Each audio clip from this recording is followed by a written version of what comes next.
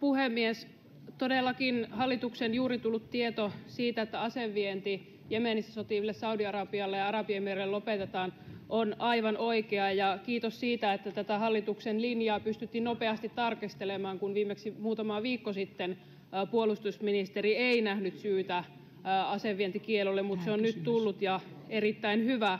Mutta tilanne jemenissä on niin karmea että myös varaosavienti ja vanhojen, vanhojen asevientilupien mukainen vienti jemeniin tulisi välittömästi lopettaa. Arvoisa puhemies, kysyisinkin ministeriltä, että koskeeko tänään tullut päätös sotatarvike vientilupien keskeyttämisessä Jemenissä sotiville osapuolille, koskeeko se myös varaosavientiä sekä vanhojen lupien mukaista sotatarvikevientiä? Ministeri Soini. Niin, arvoisa rouva puhemies, hallituksen tämänpäiväinen päätös käsitteli uusia lupia, niille ei ole edellytyksiä.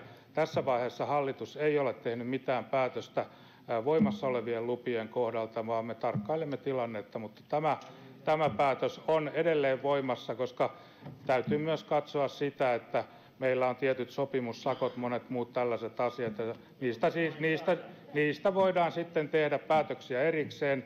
Nämä edelliset luvat ovat käsitykseni mukaan ainakin kahden edellisen hallituksen päättämiä lupia, että kyllä tässä niin ovat ikä, ikävä kyllä lähes kaikki parlamentaariset puolueet olleet näitä, näitä myöntämässä.